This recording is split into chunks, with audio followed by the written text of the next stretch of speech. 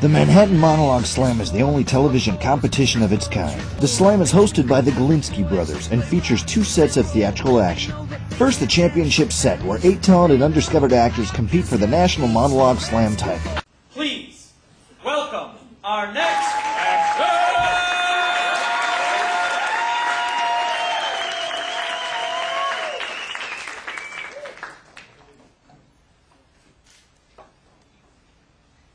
What are you, a penologist detective? Yeah, seven years in San Quentin, in the hole for three, McNeil before that. That place is full of dipshit crews looking to fuck up and get busted back. They like their three squares and free HBO. You see me doing thrill seeker liquor store holdups with a born to lose tattoo on my chest? No, you do not. And I'm never going back. I do what I do best. I take scores. You do what you do best, trying to stop guys like me. Man, I don't know what the fuck a normal life is. What the fuck is that? Barbecues and ball games? That's your life? A man told me you want to make moves, don't keep anything in your life you're not willing to walk out on in 30 seconds flat if you feel the heat coming around the corner. So if you're chasing me and you got to move when I move, how do you expect to keep uh, a marriage? And don't assume I'm a monk neither. I got a woman. If she thinks I sell swimming pools.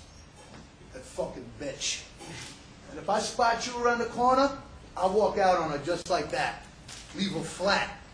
That's the discipline.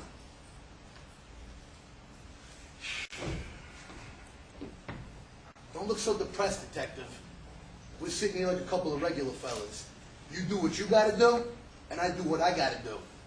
But if it's between me and some poor bastard whose wife I might make into a widow, it's him that's going down, brother.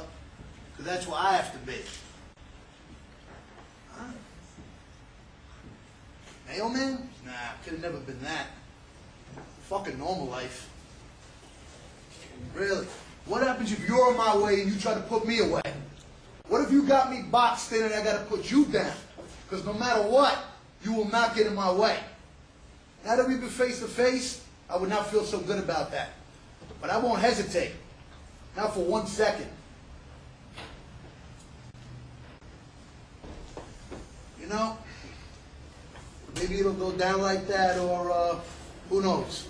Maybe we'll never see each other again. Now get me a fucking soda, you pig.